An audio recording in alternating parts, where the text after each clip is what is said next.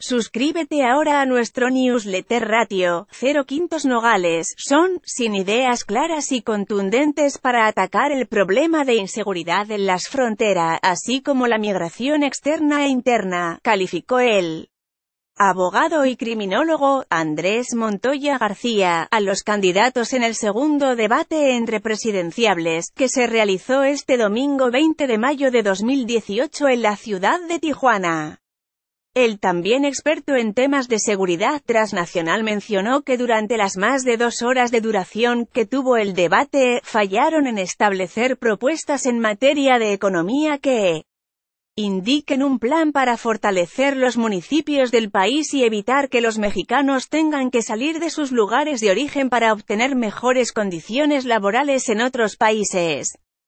Más que conocimiento, interés en el tema de seguridad pública, no hacen referencia a una ley de seguridad interior que está en el Congreso y cómo utilizarán el Código Penal, el Código Nacional Penal, que está también en proyecto verdad, probablemente no tengan su fuerte el área esa de seguridad pública, expresó.